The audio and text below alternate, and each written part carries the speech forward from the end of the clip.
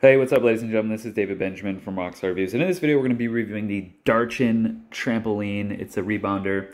Uh, first things first, uh, it is a bungee, which is nice. Um, the setup is uh, very light. It's a very light rebounder. Um, it's made of like I don't know what it is, but it's just like super light. Um, the bounce on it, it's like super firm. Uh, that's one of the downsides.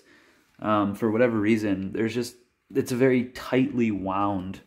Like this is the bounce. It's just very tightly wound, and uh, uh, structurally speaking, it's a very lightweight trampoline, but it's not very. It's not like you know, like as you can see here. Look, see the leg? It's not even touching. It's just moving. Um, so the structure of it, um, the bounce is very tight, which I don't like it. I want it to be softer. But then the legs, like this just moves left to right. It's like, it's literally hanging. Um, so it doesn't, like, I don't know. It doesn't really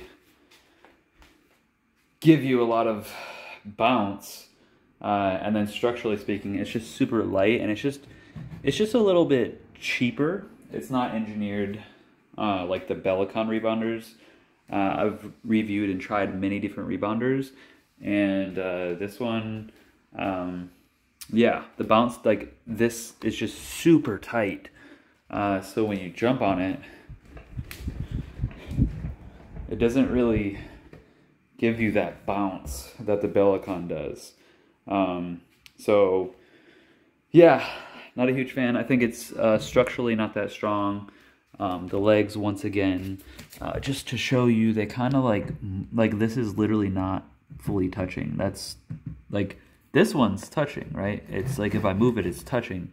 This one is, there's like a couple centimeters in there. It's just like, it's just like not, I don't know, they get kind of loose. So yeah, I don't know. Um, not the rebounder that I would purchase personally. Um, personally, I really like the Bellicon, and I highly recommend the Bellicon. I'll link up the Bellicon below. Uh, the Bellicon Go is lightweight also, but the the frame is stronger, and then the bungees uh, they bounce better, and then the actual you know experience on the Bellicon, you just get a better bounce. Like your your lymphatic vessels, your lymphatic system is moving more.